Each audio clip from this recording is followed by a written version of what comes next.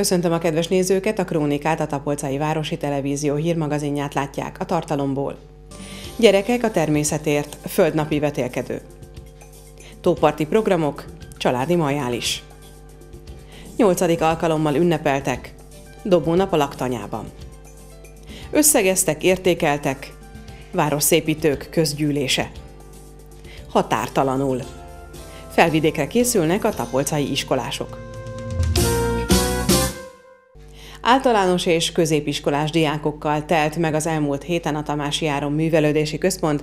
Igen nagy volt az érdeklődés a Szászmárton szakképző iskola által 8. alkalommal megrendezett földnapi vetélkedője iránt. Több mint 20 csapat vett részt a nagy hagyományokkal rendelkező városi szintű rendezvényen, ahonnan senki nem távozott üres kézzel földnapja, ezt a gyönyörű ünnepet, amit világszerte ünnepelnek itt a polcán, különös gonddal készítik elő, és aztán egy versennyel ünneplik meg immár nyolcadik alkalommal a Szászmárton iskolások. Mi ennek az idei versenynek a története? Valóban a nyolcadik alkalom, és büszkék is vagyunk rá, és nagyon örülünk, hogy változatlan érdeklődés mutatkozik a városban a verseny iránt. A kollégák mindig lelkesen, nagy lelkesen készítik fel a gyerekeket, annak ellenére, hogy a, az alapóra számban ugye a természettudományos ismeretek, vagy a természettudományos oktatás kicsit háttérbe szorult. De mindig szívesen és örömmel veszük, hogy tényleg nagyon készülnek ezekre a, a kérdésekre, ezek, erre a versenyre.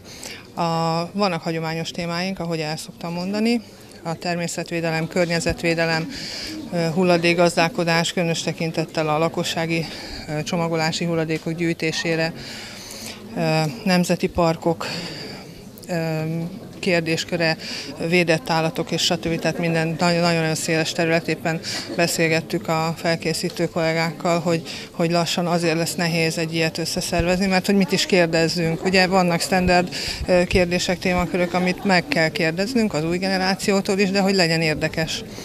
Nos, a hagyományos témakörökön kívül az idén különös hangsúlyt kap a Tapolca város, mivel hogy 50 évesek lettünk, Tapolca város természeti értékei, a barlang, a tavas barlang, a Malomtó, Alsótó, Felsőtó, annak élővilága, kialakulása és az ezzel kapcsolatos ismeretek, ami akár a hétköznapi ember számára is érdekes lehet szinte megtöltötték a házat a versenyzők az aulában is, és az első emeleten is dolgoznak a gyerekek. Hányan fogadták el a meghívást, mely intézményekből jöttek? Hát alig tudtam végigolvasni a névsort, olyan sokan valóban, 23 csapat jelentkezett az idén. A legnagyobb létszámmal a Széchenyi Szakképző, Baptista Szakképző iskola jelentkezett, jelentkezett az idén a Bacsányi Gimnázium, és a, természetesen a mi iskolánk is képviselteti magát, a VSC Szászmárton szakiskola. Ők a 9-es korosztályban ebben a, a korcsoportban versenyeznek egymással, ők 12-en vannak. Az általános iskola szintén nagyon népes, ugye 11 csoport, 11 csapat jelentkezett. Itt a hagyományokhoz tartozik, hogy két kórcsoportban 5.-6. osztályosoknak és 7.-8. osztályosoknak készült kérdéssort kell kitölteni, és a díjazás is így történik majd. Ha már a díjazást említette, mi az, amit a gyerekek kaphatnak a jó munkaeredményeként?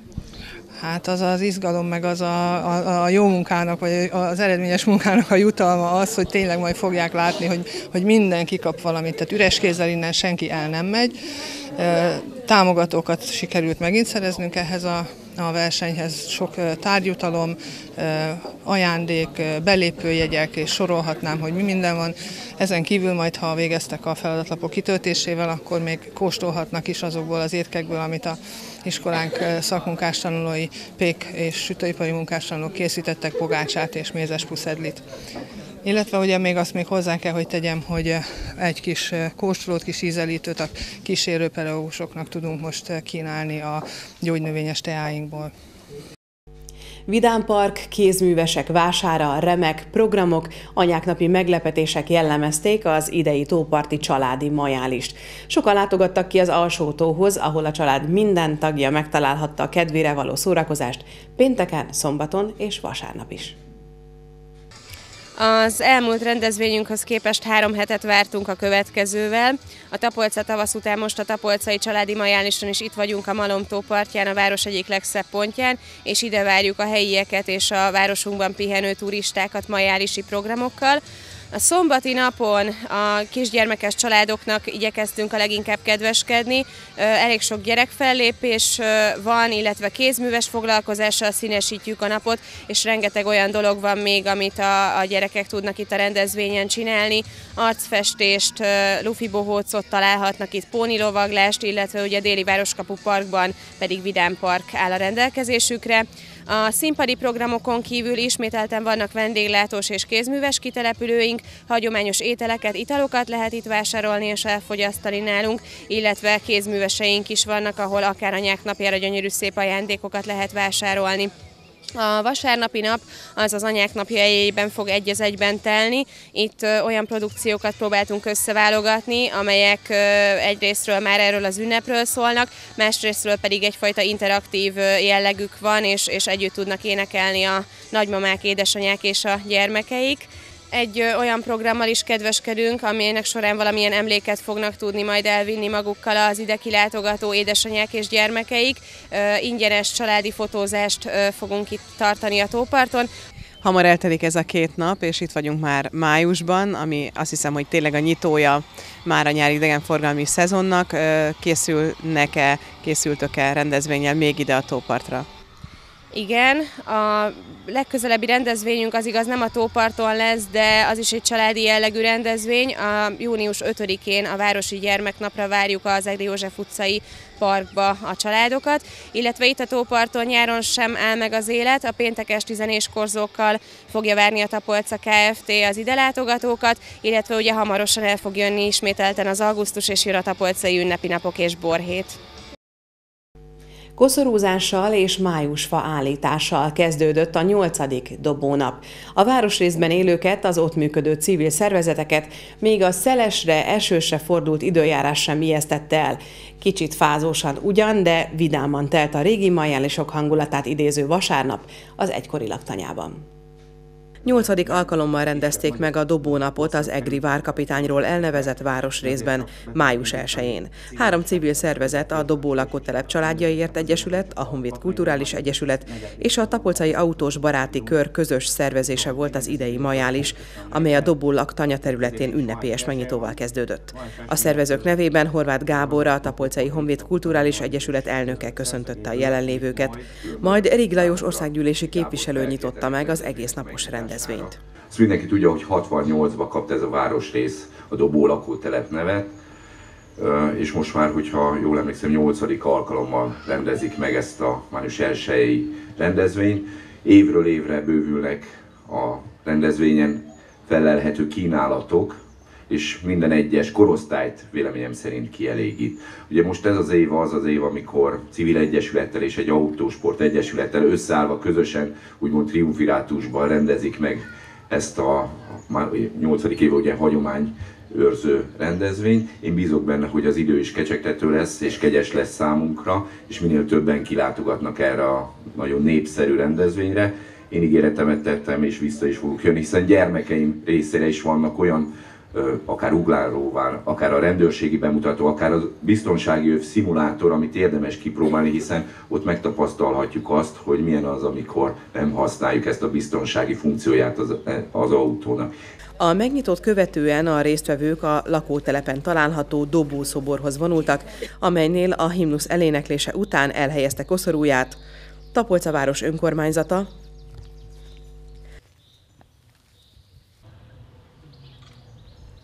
a Jobbik tapolcai szervezete.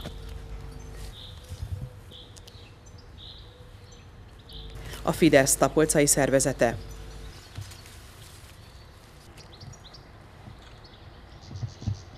A Fidelitás tapolcai szervezete. A lakótelepen működő ifjúsági szervezet. És a Dobó lakótelep családjaiért egyesület. Hivatalos események után jóval felszabadultabb és vidámabb események következtek. A koszorúzókból összeállt csapat kiegészült a lakótelepen élőkkel, és közösen igyekeztek felállítani a májusfát. Ez csak elsőre tűnt könnyűnek. Miután mindenki rátalált a saját feladatára, hamar az ég felé tört a színes szalagokkal és pesgővel díszített tavaszhírnök a májusfa. Ezután kezdetét vette a hivatalos program. A kamion platóból lett alkalmi színpadon egymást váltották a fellépők. Elsőként az Akrodens esetáncosai melegítették be a közönséget koreográfiáikkal, majd a szivárvány ovi táncosai következtek. Közben elindult a főzőverseny, amelyen idén mindenki dobogós helyen végzett, hiszen három csapat vett részt a megmérettetésen. Végül a Fidelitas pörköltje nyerte el a zsűri tetszését leginkább, így ők lettek az első helyezettek. A majálison részt vettek és motoros vezetéstechnikai bemutatót tartottak a tapolcai rendőrkapitányság munkatársai, akik a gyerekek részére apró ajándékokkal is készültek. Volt ugrálóvár, a szülőknek pedig igazi majális hangulat az ételeket, italokat kínáló sátraknál. Délben jó ebédhez szólt a nóta a Csobánc népdalkörrel, fellépett a Báderbend és a Kinizsi táncegyüttes is. Sokakat vonzott a TVS-e RC modell és makett szakosztályának bemutatója, ahol egymást kezébe adták az érdeklődők a távirányítókat és irányították a versenyautókat, kis kamionokat, tankokat. A rendezvény ideje alatt különféle autó és motormárka kereskedések mutatkoztak be, de lehetőség volt ingyenes motorállapot felmérésre is. Bár az idő reggeltől borús volt, és délutára elromlott, az eső is elerett, mégis sokan látogattak ki a laktanyába, hogy egy sör és virsli mellett megidézzék a május elsője hangulatát, és várják az igazi tavasz beköszöntét. Programokban bővelkedő és igen eredményes volt a 2015-ös esztendő, a Városszépítő Egyesület tavalyi éve. Mindenről a tagság az elnöki beszámolóból is meggyőződhetett az elmúlt héten az Egyesület közgyűlésén a Vas Albert könyvtárban. A közgyűlésen Benács Lajos elnök foglalta össze a 2015-ös esztendő fő történéseit. Beszámolt a nőklubjuk aktív részvételével megtartott téltemetőről és arról is, hogy tavaly is büszkén vitték fel a tapolcai gyermekeket, az önkormányzat biztosította busszal Budapestre, a fiatalok az épített és természeti értékeinket pályázat díjkiosztójára, amely után érdekes programmal is meglepték a tapolcai fiatalokat. Alapos szervező munka előzte meg a 2015-ös Bacsányi emlékhetet, hiszen tavaly volt a látnok költő halálának 170. évfordulója. A hagyományos emléksétán, versenyeken, megemlékezéseken túl könyvet is jelentetett meg az Egyesület, amelyhez szép számmal érkeztek jó szándékú felajánlások pénzadomány formájában. 2015-ben is folytatódott a Virágos Tapolcáért mozgalom, amelyen 70 család nevezett pályázott. Díjakat osztottak erkély előkert kategóriában, 17 családi ház pedig kiérdemelte a Tiszta Udvar rendes ház feliratú kerámia táblát. Részt vettek szervező lebonyolítóként az adventi Díszítsük együtt városunkat újonnan indult akcióban, ahol a már említett kategóriákban osztottak díjakat. Fontosnak tartják, mondta az elnök, hogy kapcsolatot tartsanak a régió városvédőivel.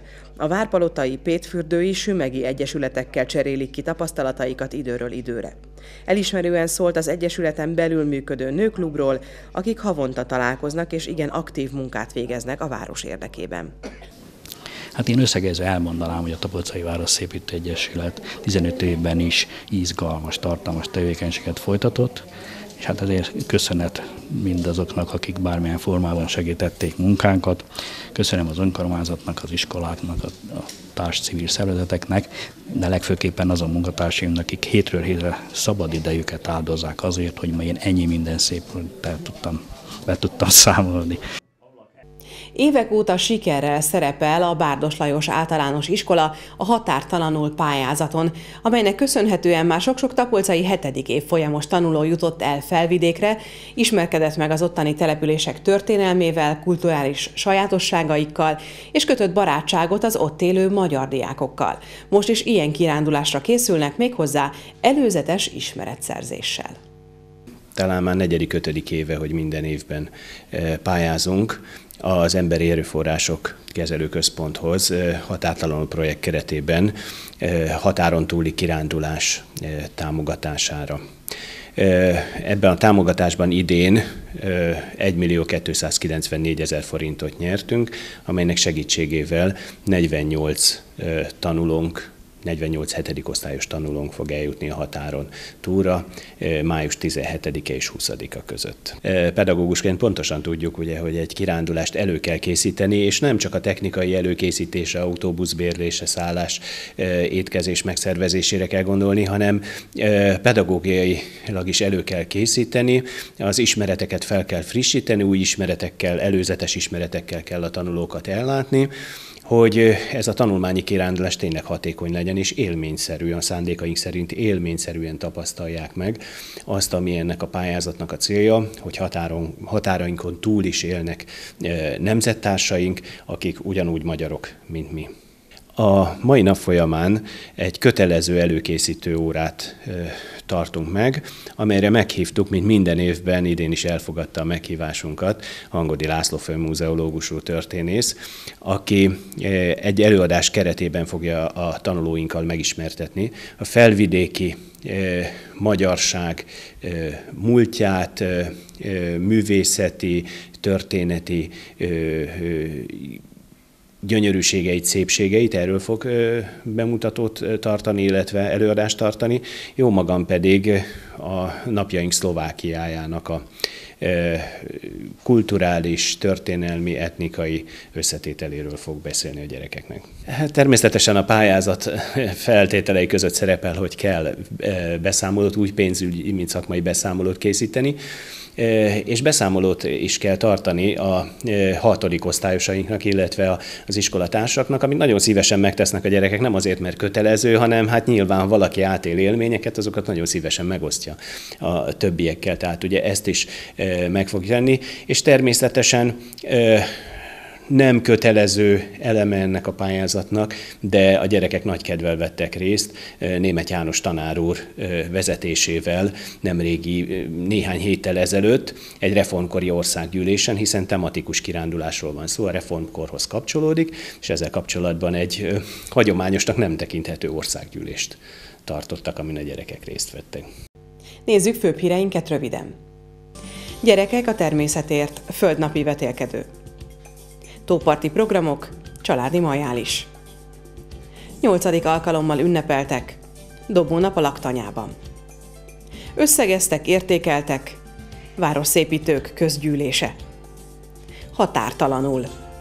Felvidékre készülnek a tapolcai iskolások. Kedves nézőink, köszönöm figyelmüket, a Krónikát, a Tapolcai Városi Televízió hírmagazinját látták. Rólunk szóló és minket érintő friss hírekkel legközelebb is várjuk Önöket a képernyők elé. Viszontlátásra!